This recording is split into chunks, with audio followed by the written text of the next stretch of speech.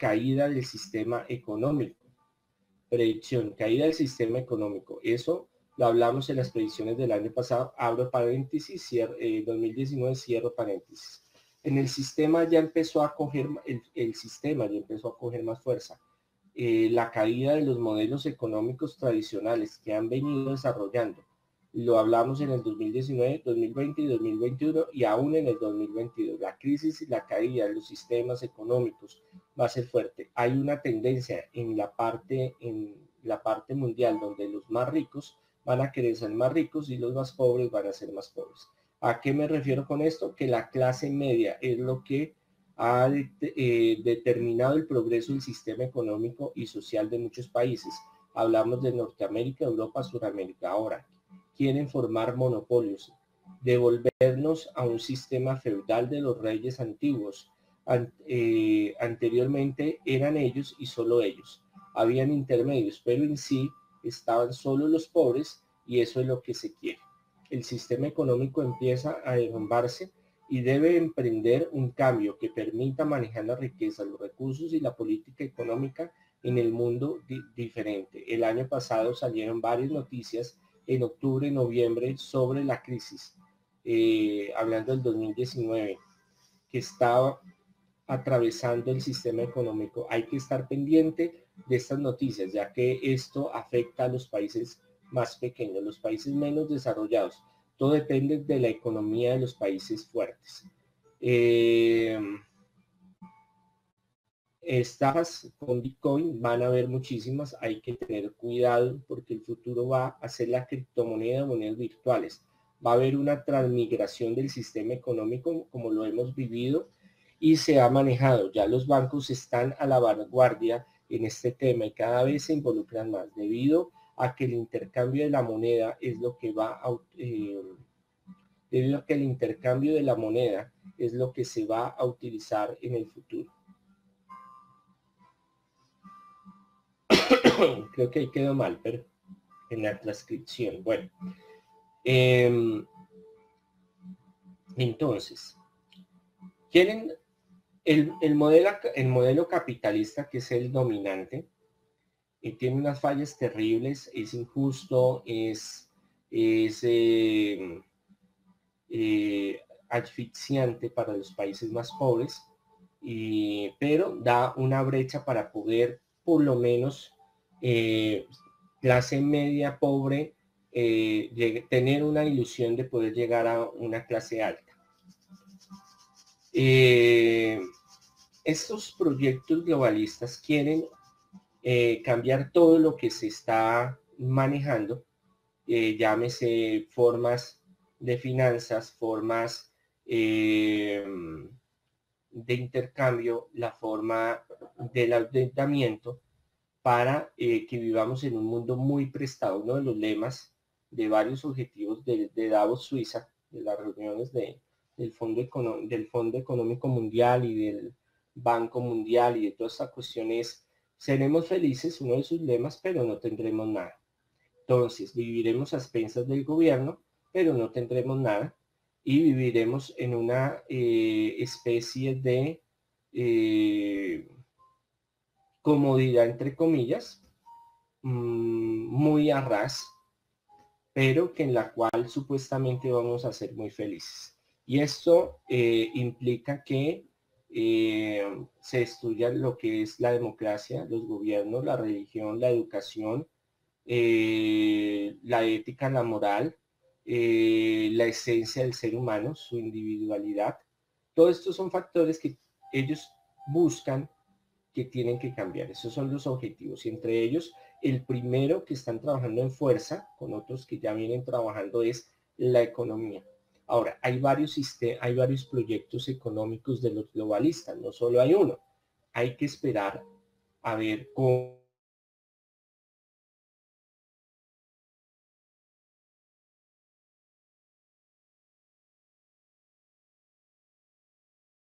digital eh, pero mientras tanto, mientras tengamos el papel, mientras tengamos las monedas, eso nos da valor al comercio y nos da estabilidad en muchas áreas de la sociedad y la economía. Entonces, tenemos que esperar. Esto se va a llevar su tiempo en Estados Unidos, en Europa, en Asia, en el Oriente.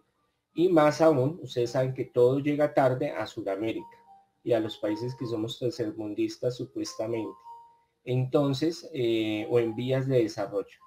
Estos países, como los nuestros, para llegar a eso, eh, aunque se está desarrollando un sistema, actualmente los bancos están muy a la vanguardia de sacar sus productos, eh, va a llevar su tiempo. Entonces, les dije que les, acabo de leer que tienen que estar muy pilas con el Bitcoin, con esas inversiones digitales. van a haber muchas estafas, van a haber muchos eh, defalcos. Ha habido, el año pasado fue grandísimo a gran escala, mediana y pequeña escala. Entonces, pilas con su dinero. Eh, si usted va a meterle a la bolsa, usted le va a meter a las criptomonedas, por favor, asesórese bien, busque bien, investigue bien y siempre riesgoso, siempre hay un riesgo. Entonces, por favor, investigar bien y no dejarse en llevar. Eh, aquí somos expertos en ¿qué? piramidología, piramidología. O sea, meternos en pirámides y en cosas de esas. Entonces, pilas con eso. Entonces, todas esas em, donde le pinten a unos pajaritos en el aire y usted no conozca y no mire bien investigue bien, eh, pueden perder su dinerito y eso sería muy triste. Entonces vamos a ver evidencias eh, de lo que eh, de esta noticia.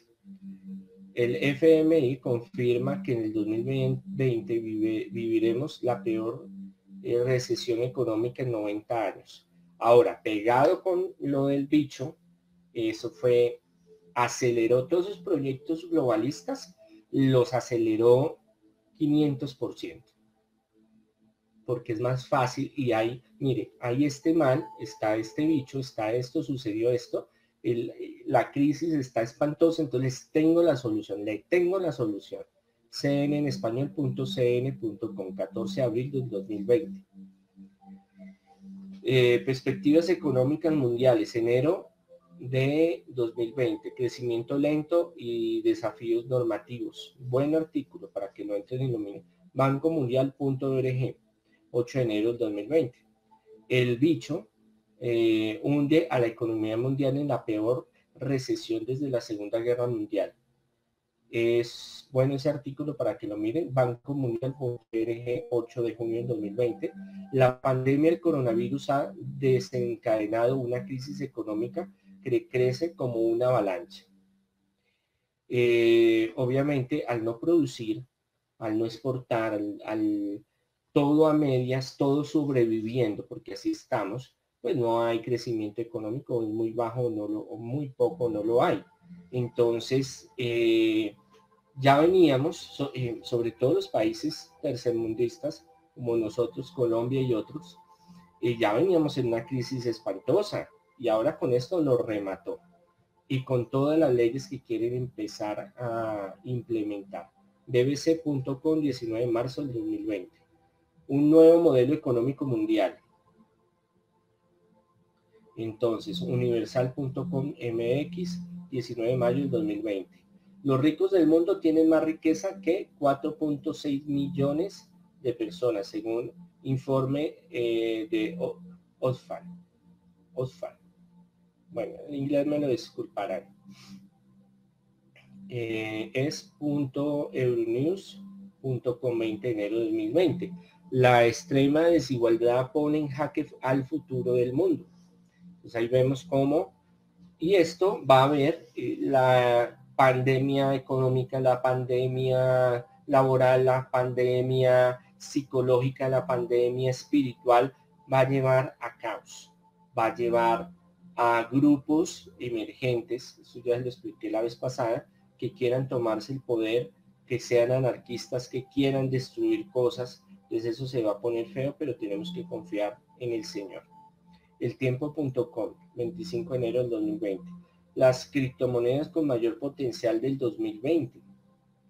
Eh, Crypto.com, 25 de junio del 2020 el 2020 un año de recuperación para el Bitcoin. Vimos cómo el Bitcoin se subió y después uh, se bajó. Eh, portafolio.com 26 de noviembre del 2020.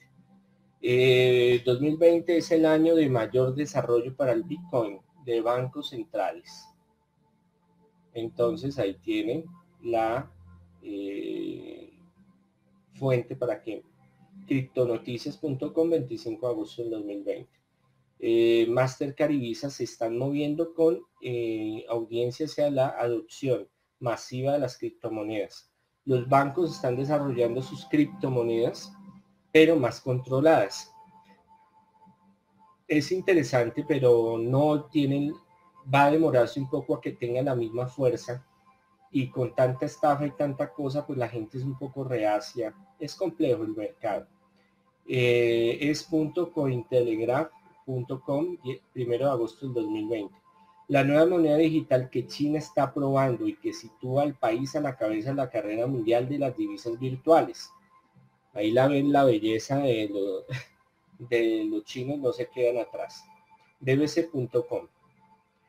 Eh, estafas con criptomoneda en Colombia activas este 2020. Entonces, por favor, investiguen bien antes de meterse en, en, estos tipos de negocio. Eh, es punto 23 eh, de junio del 2020.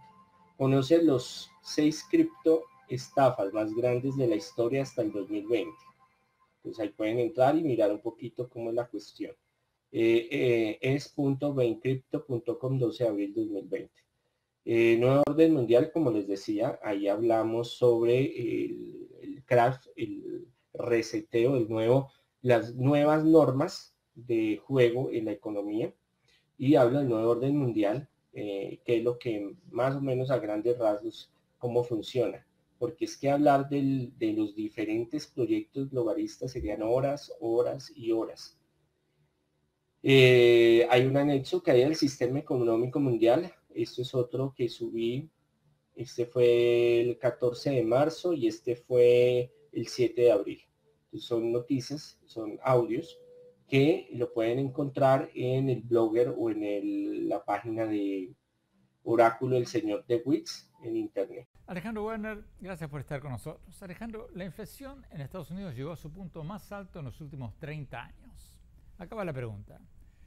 ¿Vamos a ver un efecto contagio? ¿La inflación en Estados Unidos va a contagiar al resto del mundo? ¿Qué tal, Andrés? Mira, claramente eh, el mundo está viviendo un periodo de incremento en la inflación. Yo te diría que la gran mayoría de los analistas económicos y obviamente las autoridades financieras internacionales, la Reserva Federal en Estados Unidos y el Banco Central Europeo, eh, sostienen la hipótesis de que esto es parte de un fenómeno transitorio asociado a cómo la economía mundial absorbió el choque de la pandemia. ¿Qué quiere decir esto? En 2020, sobre todo al principio, todavía había muchos bienes y se cerraron las economías, la gente no salía a comprar y por lo tanto la demanda era baja y los precios cayeron mucho y por lo tanto la inflación fue atípicamente baja.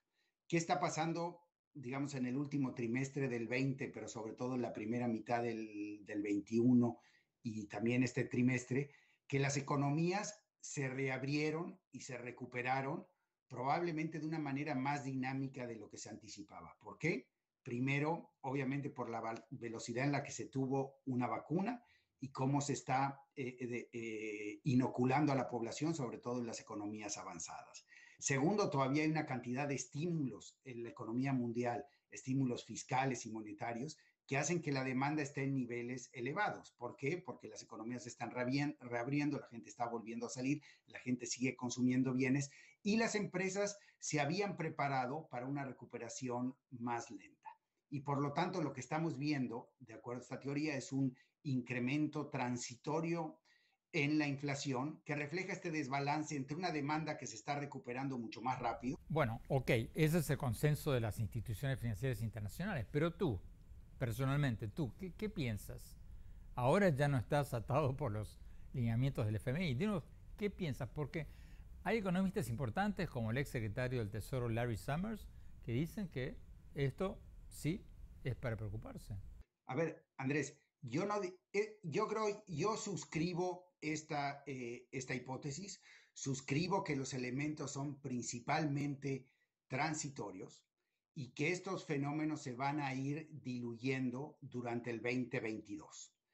Eh, lo que dijo el secretario del Tesoro, Larry Summers, es que sí son preocupantes, es que la economía de Estados Unidos no necesitaba pasar por este periodo de elevada inflación, de más estímulos fiscales, porque ya se estaba recuperando rápidamente. Y creo que esa es una discusión relevante. Yo no creo que Larry Summers haya dicho que esto va a ser un fenómeno permanente. La discusión es si, bueno, si esta inflación termina siendo más permanente de lo que se anticipa y las expectativas de inflación de mediano plazo empiezan a repuntar, que la gente espere que para el 2023, etcétera, vamos a seguir viendo en Estados Unidos y en Europa inflaciones del 4, del 5, y por lo tanto las tasas de interés de largo plazo tengan que subir mucho más de lo que se anticipa.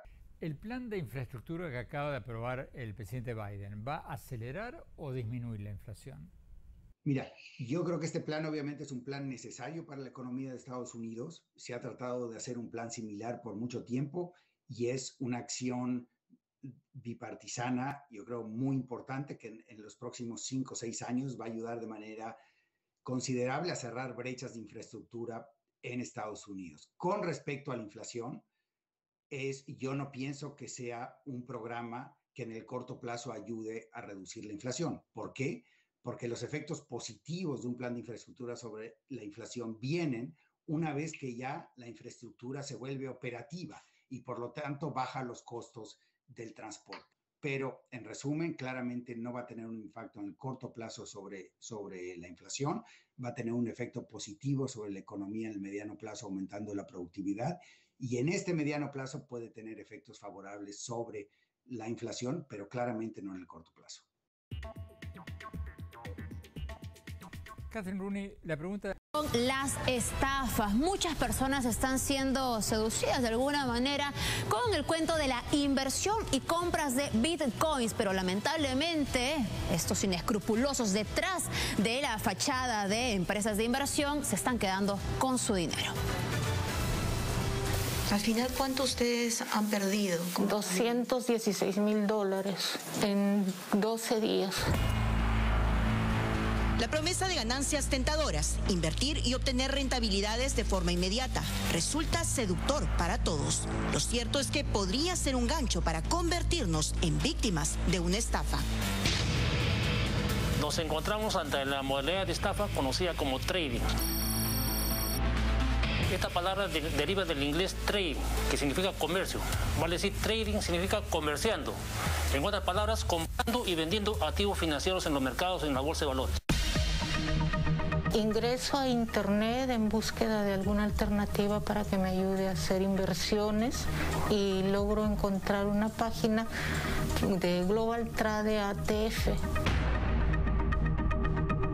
Me pedían solamente mi correo electrónico, número telefónico y nombre para que se contacten conmigo. Un día después, un supuesto broker de Global Trade ATF se comunicó con esta ciudadana y se presentó como su asesor. Le dijo que le enseñaría cómo invertir en criptomonedas. El broker que iba a estar a cargo de entrenarme y que se llamaba Andrés. ¿Usted no sabía nada de finanzas, no sabía de cómo invertir en la bolsa, desconocía? No, nada sabía de cómo invertir en la bolsa y este señor me indicó, no se preocupe, eh, yo me voy a encargar de enseñarle. Generaba confianza. Yo te sugiero que si tienes unos 5 mil dólares, podamos nosotros con eso y yo te empiezo a enseñar cómo trabajarlos. Y él me dijo que la idea era invertir en criptomonedas. Ha pasado una hora y ya ganaste en este nomás 200 dólares, me decía, ¿no? Y en el de acá, mira cómo va subiendo. Yo te voy a avisar cuando ingresas, cuando saques el dinero. Y así empezó la pesadilla en febrero de este año. Le pedían seguir invirtiendo para que no pierda su dinero. Cada vez que quería retirarlo de la plataforma, le decían que no era posible porque estaba invertido en acciones o que tenía que pagar una fuerte suma de penalidad. Al día siguiente me llaman ya y me dicen, ¿sabes qué? Tus 5 mil dólares están en riesgo, necesitas cubrirlos. Entonces, este tienes que poner 5 mil dólares más, invertí los 5 mil más, no ya eran 10 mil en ese momento. ¿Y cuando usted quería retirar el dinero, ¿qué le decían? Y no me dejaban, me decían, no, deja el, el dinero ahí que todavía tiene que ganar. Entonces cuando yo ya ingresé un monto importante, ellos me mostraban, estás viendo que estás ganando. Acaba de ganar 100 mil dólares aún sin conocer nada del sistema. Y se oía ahí un grupo de aplausos y todo. Y él me decía, ¿y te sientes contenta con estar ganando estos 100 mil dólares? Y yo le decía, no, porque no veo ningún retorno de dinero, le decían. El área contable me llama y me dice, ¿sabe que su dinero está en riesgo y tiene que protegerlo? Ahí ya estábamos desesperados, empezamos a sacar dinero incluso de la tarjeta de crédito para poder cubrir eso. Al final, ¿cuánto ustedes han perdido? 216 mil dólares en 12 días. El siguiente audio registra cómo el supuesto broker le insistía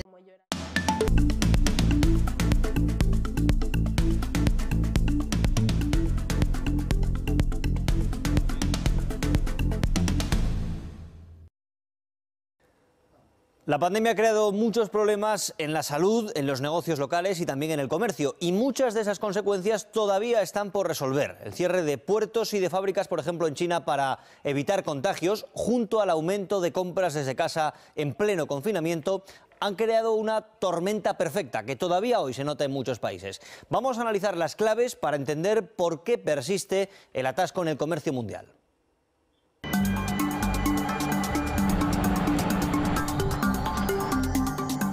Cuando hacemos un pedido se pone en marcha un largo y complejo proceso. Vamos a ver por qué ahora hay graves problemas en las cadenas de suministro a causa de la pandemia. Para entenderlo hemos venido aquí al puerto de Valencia, es el número 30 de todo el mundo en movimiento de contenedores. En torno al 90% del comercio mundial se hace por mar, así que una de las claves está en los puertos. Con la pandemia muchas eh, fábricas en China, por ejemplo, han enviado a gente a casa y han reducido la producción. Menos fabricación mientras aumentaba la demanda, por ejemplo, en los Estados Unidos, donde el gobierno federal dio ayudas económicas a muchas familias. Todo eso ha hecho que se descuadre la producción. Y también afectó al tráfico de contenedores, son una pieza clave en el comercio mundial. Sus trayectos están medidos al milímetro para obtener la máxima eficacia. La pandemia lo alteró todo. Al principio de la pandemia muchos contenedores partieron de China con material de protección a lugares donde no suele haber un retorno tan frecuente. Por ejemplo, África Occidental. Eso hizo que hubiera menos contenedores disponibles para otras rutas y empezaran a subir los precios. Han llegado a multiplicarse por 10 en los últimos meses. Ahora algunos puertos del primer mundo no dan abasto, cuentan con menos personal en la pandemia, los barcos se acumulan y se retrasa la descarga de productos. Más problemas, muchos camioneros que trasladan los productos se han quedado en casa en cuarentena y el barco Evergreen atascó durante días el canal de Suez, una vía clave para el tránsito comercial. Muchas empresas temieron un desabastecimiento, hicieron una petición más material, pero eso complicó todavía más eh, el atasco. El desafío ahora es resolverlo y volver a poner el sistema a funcionar correctamente. Estamos viendo esos problemas en algunos